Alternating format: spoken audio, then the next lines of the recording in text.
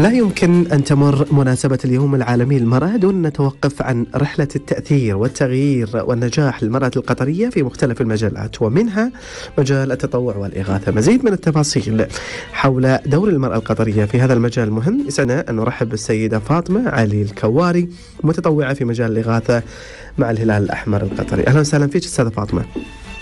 السلام عليكم. يعطيكم العافية جميعا. وحابة أبارك لكم بالشهر الفضيل. أهلا. كلام وأنت بخير. آه وأنتم بخير.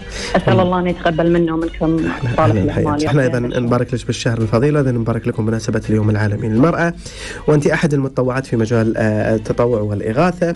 آه، نتكلم عن بداياتك مع الهلال الأحمر القطري. منذ متى وأنت مع الهلال الأحمر في التطوع؟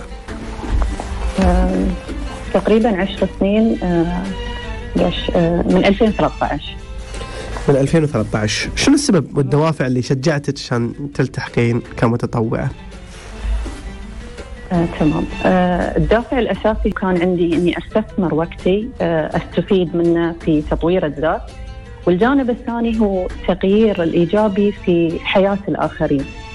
آه، عندي قيمة العطاء يعني لها أولوية فعندي إيمان أن كل شخص يقدر يساهم في بناء مجتمعه أو مجتمع آه، الآخرين خصوصا في في فترة الأزمات.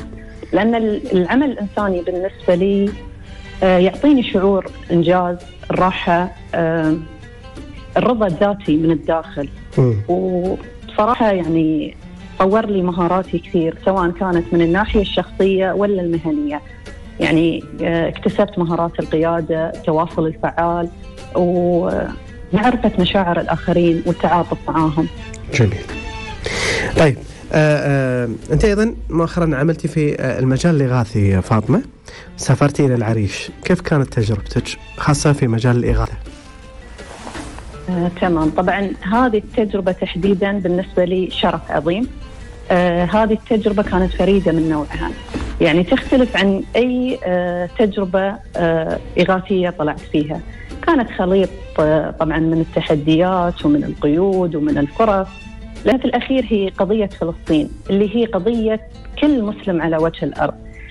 فلما عرفت أن زملائي طلعوا للإغاثة الفريق اللي قبلي صراحة يعني تميت يعني أدعي رب العالمين أني أكون من ضمن الفريق يوما ما. والحمد لله رب العالمين استجاب لدعائي. وطلعت المهمة لمدة أسبوعين. طبعا المهمة كانت يعني كانت عندنا مجموعة من المهام. المهمة الأساسية كانت عندنا استقبال المساعدات القطرية في مطار العريش.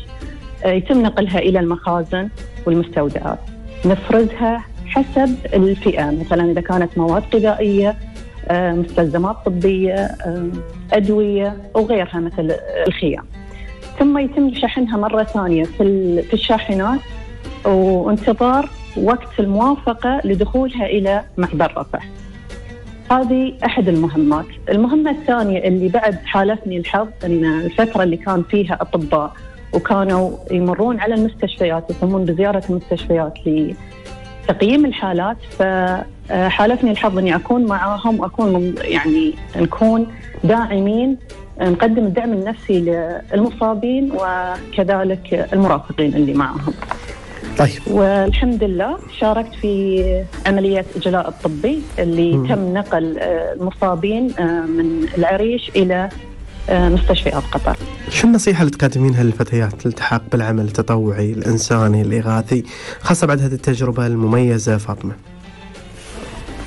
آه، تمام إحنا إحنا الحريم والبنات يعني بشكل آه آه عاطفيين بشكل طبيعي يعني.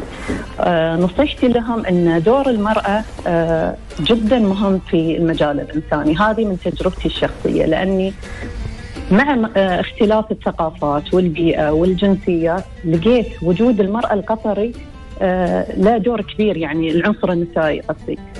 فحتى آه، لو كانت في يعني لغة مختلفة لكن وجودي طبطبتي لها حضني كان جدا يلعب دور. فبصراحة أنصحهم أن يخوضون هذه التجربة. ومن هالمنبر أحب أني أشكر الهلال الأحمر القطري اللي يقوم بتأهيل وتدريب العنصر النسائي عشان يكون أحد العناصر الضرورية في رحلات الإغاثية. نعم. الله يوفقك إن شاء الله وفخورين فيك أختي فاطمة علي الكواري متطوعة في مجال الإغاثة وأيضا العمل آه، الإنساني في الهلال الأحمر القطري كل الشكر والتقدير لك اتمنى إن شاء الله التوفيق ومزيد من الرحلات الإنسانية والإغاثية على مستوى العالم. تسلم أخوي يعطيك العافية.